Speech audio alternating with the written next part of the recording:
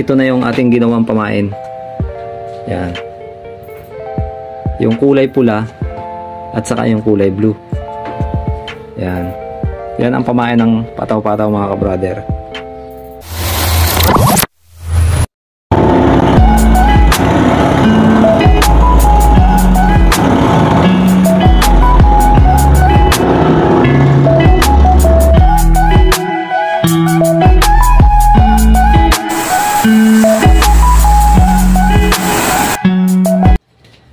Good morning mga ka-brothers. Ah, sa pang mapagpalang araw sa ating lahat. At sana po ay nasa mabuti tayong kalagayan sa mga pagkakataong ito. Yan mga ka-brothers ah, tayo po ay hindi nakalaot dahil lang malakas ang dagat ngayon. Ah, sumimuli ang amihan. Kaya magagawa muna tayo mga ka-brothers ng pamain sa pataw-pataw. Ah, no sa unang tutorial natin mga ka-brother, hindi natin ay focus yung paggagawa natin ng pamain dahil lang ang tutorial natin ay isang buong pataw-pataw. Kaya ngayon, naisipan ko na i-focus yung paggagawa ng pamain sa inyo para magkaroon kayo ng idea kung kayo napapagusto na magpalakayan ng pataw-pataw mga ka-brothers. Ang kailangan natin dun sa ating gagawin pamain mga ka-brothers ay ito mga kirilin, uh, yung crystalite nga. Yan, itong isang kulay na ito, hindi ko masyadong kung anong kulay. Basta siya ay maberde-berde siya na makulay blue halos. Tapos yung sky blue. Yan mga ka-brother. Kailangan natin ng dark blue. Kailangan natin itim, konti lang. Tapos itong violet. Pag bali pagsasama-samahin at mga ka-brothers ito, ihimayin natin ito tapos pagsasama-samahin, tapos imimix natin yan mga ka-brother. Maluwan lang naman siyang tanggalin. Katulad nito mga ka-brother, hihilahin mo lang itong kabilang tabing ito. Yan. Pagsasama-samahin lang ito. Pagsasama-samahin natin para maging isang malaki siya tapos doon tayo kukuha ng gagawin natin pain. Pag nakapag-mix tayo mga ka-brother ng ganito na pagsama-sama na natin yung lahat ng kulay na inaakala natin na maganda na ang pagkaka-mix niya. Yan. Okay na yun mga ka-brother. Dito na tayo pipilas ng ating gagawing pamain. Bali pag ako nagagawa mga ka-brother, laging dalawang kulay para may option yung gulyasan. Pag nakapag-mix tayo mga ka-brother ng ganitong asul, magmi-mix naman tayo ng kulay pula. Ito naman mga ka-brother ang gagamit natin sa kulay pula nating paghahaluin din natin mga ka-brother.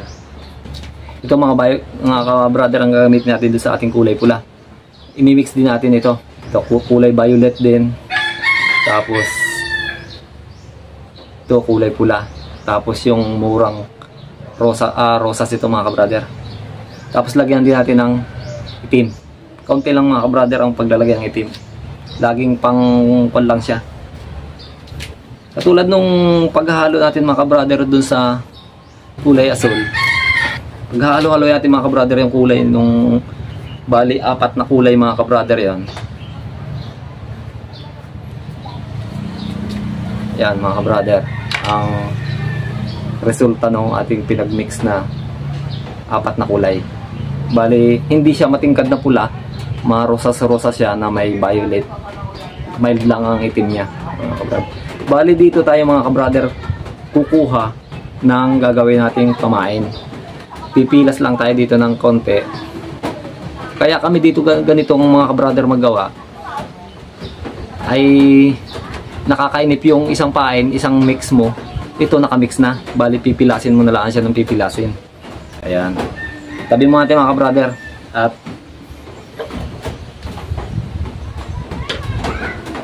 Yan mga ka-brother, doon sa baguhan pa lang na may balak mangisda, ah manood kayo mga ka-brother para kung sa kon ay magkaroon kayo ng idea, may matutunan kayo dito sa ating gagawing tutorial sa paggagawa ng pain ng pataw-pataw. Doon naman po sa mga datihang mangingisda na, na may kasanayan na, na mayroon pang ibang alam na mas improvement pa doon sa ating ginagawang pataw-pataw mga ka-brother ay pakisupport na lang po itong gagawin natin dahil lang hindi naman po ako eksperto. Ito po ay base lang sa aking karanasan sa paglaot sa panghuli ng skipjack tuna. Ah, mag-shoutout muna po tayo ng patuloy na nagbibigay ng suporta sa ating channel. Yan mga ka-brother. Ah, doon po sa lahat ng OFW na naaabot ng ating YouTube channel, shoutout so po sa inyong lahat. Ah, hindi at po na po kayo may isa-isa dahil napakarami ninyo kaya mega love shoutout sa inyo lahat mga ka-brothers doon sa lahat ng OFW. Tapos dito po sa mga kasamahan natin na maglalaot din diyan sa mga taga-Wawa sa Wawa Pinamalayan. Ah, shoutout po kay na Boyet at kay, Ka- kay na Carlito doon sa lahat ng mga kasamahan pa rin natin dyan na hindi natin na-mention ay wag po kayo magtatampo at sa, baka sa sunod na video na po kayo ma-shoutout. Yan kay Kian Strong. Ah, salamat sa iyo brother. Patuloy sa pagsuporta mo sa ating YouTube channel. Ah, kay Wal Tracker ng KSA Vlog. Rupang Biwas. Yan kay Tokayo na Rosel Pina Ohas. Pinaohas.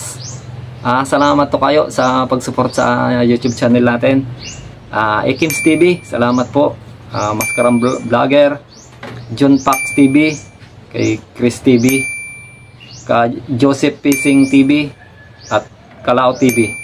At mm, hindi ko malilimutan dun sa talagang sugid supporter natin ito.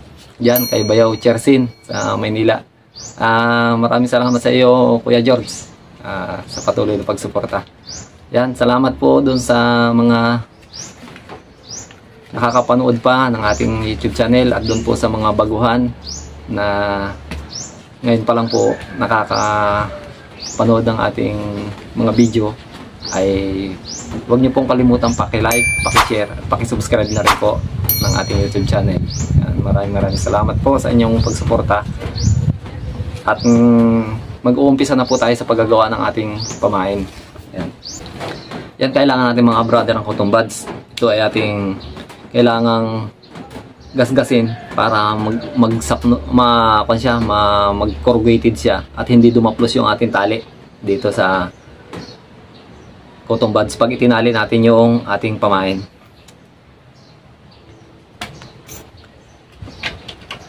Uunahin natin mga brother itong kulay pula na i-mix natin tulad ng sinabi ko mga brother dito tayo sa mix na ito pipilas lang tayo ng katamtaman lang ang laki ng ating gagawing pain. Yan. Kailangan natin mga ka-brother na sabi ko nga sa inyo pa-upgrade na pa-upgrade ang ating mga pa, mga pamain. Do sa mga nauna natin tutorial iba yung ating ginagamit na mga pakislap.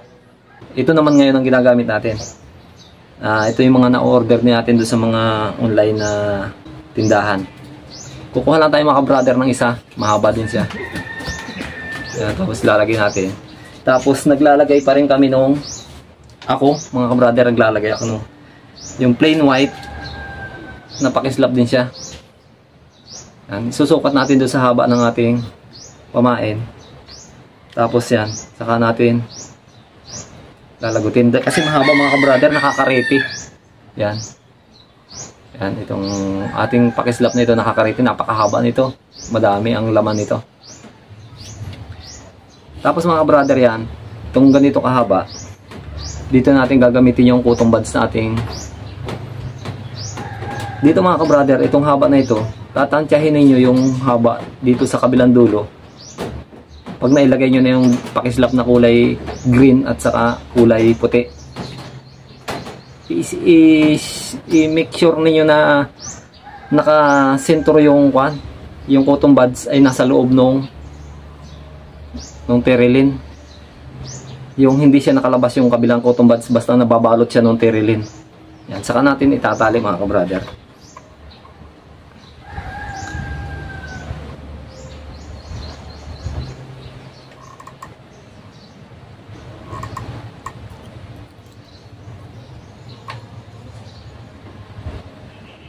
talagang medyo malabo ng mga kabrader ang ating mata kaya kailangan natin ng suporta salamin yan pag naitali mga kabrader yan na naitali na yan naitali niya na yung sasalamin tayo mga brother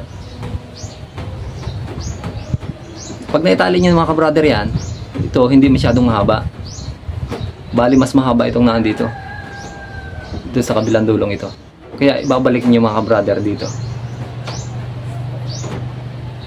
Bali sasakluban ng mahaba yung yung maigsi. Yung ating ating babrasin mga kabrother. Bali ang paang pamain mga kabrother ng pataw-pataw, mahaba talaga siya. Yan. Mahaba siya na gumaganyan-ganyan lang siya. Mas attractive sa mga gulyasan mga brother pagka mahaba ang pamain. Yan. Tapos ito mga brother, dito natin lalagutin yung cotton buds sa puno nung pinagtalian natin ng sinulid. Kaya namin binabalik mga brother, matibay ito dahil lang yung ating hibla ng, ng tirilin, hindi siya mabubunot dahil lang nakabalik siya nakaganyan siya yan. lalagutin natin mga brother yan mga brother oh, kung makapansin ninyo yan ganyan ito na yung ating cotton buds. Butas yan. Yun yung butas. Doon natin isusuot yung nylon. Tapos nasa loob nito yung nasa loob nito yung kawil. Yan. Yan ang pamain mga brother yung pamain na kulay pula. Ganun lang mga brother ng ganun. Kaya ganitong malalaki ang kami magawa para maramihan agad ang pain mga kabrader. Hindi yung, yung isang mix mo, ayun na talaga yung kulay niya. Hindi magmi-mix ka ng kaunti, tapos sa sunod na gawa mo pain, magmi-mix ka ulit. Hindi mo maikuan yung kulay, paiba-iba, magkakabukod. Kaya,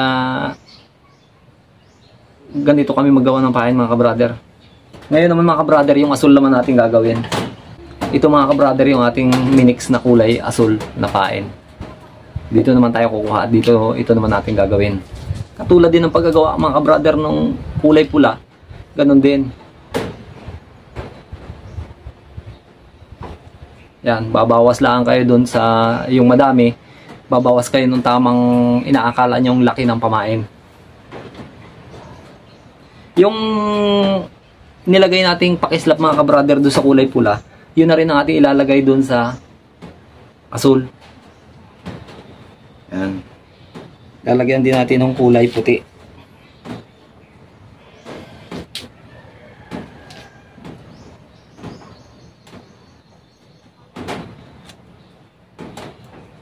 Yan.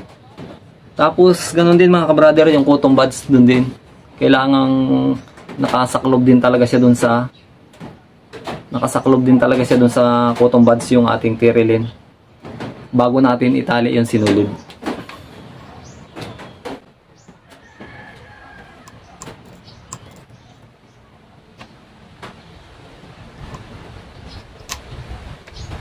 lagot mga kabrother yan sinulit natin matagal lang stock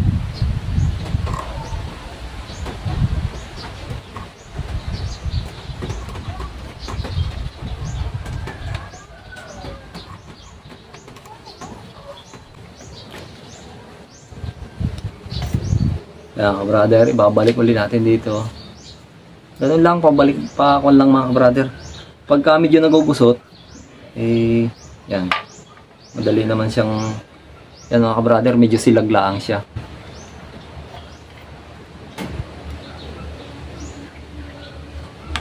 Yan. Ere na mga brother yung isa. Pamain yung kulay blue. To ang ating mga brother yung kulay pula at kulay asul. To, bali ito tutok natin mga brother na lang mamaya sa camera para makita natin. Ito mga brother ganito ang sistema niyan ang pagkuhan, gawa. Di bali may naka, nakatali na tayo ng kawil, mga ka-brother. Ito mga ka-brother, dito natin isusuot sa likod. Malabo na talaga ang mata. Yan, pag nakagawa kang parapain mga ka-brother. Yan. Nasa loob na niya yung kawil. Yan, yung kulay pula na ating pamain sa skipjack tuna. Susuot dito sa likod doon sa cotton buds. Tapos yan na mga kabrother ang pain ng ating kwan. May kawil na yan. Mga kabrother may ituturo pa rin ako sa inyo mas mabilis na pamamaraan na paggagawa ng pain na hindi na natin kailangan ng cotton buds na ganito rin halos ang kinalalabasan ng itsura. Yun namang isang pamamaraan mga kabrader ng paggagawa ng pain na nakarekta na doon sa kawil. Mas mabilis ito mga kabrader. Di halimbawang may natali na tayong kawil na ganito, wala pa siyang pain. Doon naman sa kulay asul mga kabrader na ating iminix, kukuha rin tayo ng tamang sukat. Yung su tamang sukat din ng pamain na hindi na natin ito itatali doon sa cotton buds. Yan, nakakapag nakakuha na tayo ng tamang sukat ng pamain. Kailangan din natin ng lagyan ng pakislap. Yan, di mga ka-brother, kagaya na yan. Ngayon, ang ginagawa ko dito para madali, ibinubuhol ko lang siya. Gagawin yung mga ka-brother ng buhol, yung inyong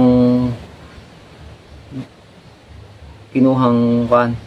Yan, pag nakabuhol lang mga ka-brother ang ganyan,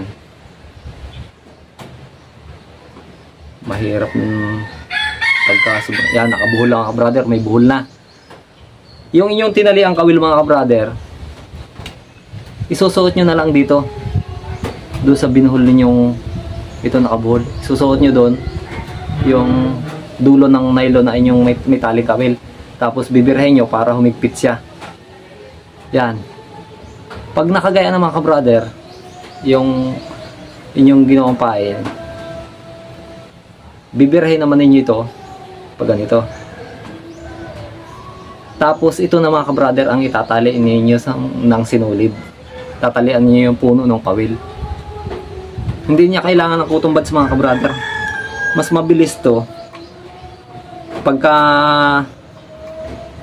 maganda ang dawi at mm, kailangan kailangan yung mabilisan eh, ganito na lang ang ginagawa namin mga kabrader Ganon din halos yan sa kwan. Yan o. Ito mga kabrother yung ginawa natin pae na may cotton buds. Yan. Tapos ito yung ating isinabid na pamain. Parehas lang siya mga kabrother. Ito mga kabrother ay pagka ganito na ligaw din siya. Ang ginagawa din namin. Ito kahit may cotton buds na siya doon sa dulong yun. Tinatalian pa rin namin yun itinatali pa rin namin ng sinulid mga kabrader doon sa kawil. Para hindi siya manabid yan dahil yan mga kabrader may kutumbad siya pero tinalian din namin yung kawil. Dahil once na ito mga kabrader ay umatras dito. Itong dulo ng tirling ito malambot ito nananabid na dito sa kawil. Kaya ngayon hindi siya makaatras dahil lang may tali na siyang pill, nakapermis na siya.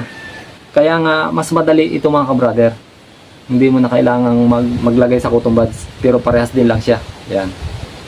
Ito mga ka-brother yung may cotton buds. Ito naman yung nakarekta doon sa kawil. Yan, yan. Tapos, ito na yung ating ginawang pamain. Yan. Yung kulay pula, at saka yung kulay blue.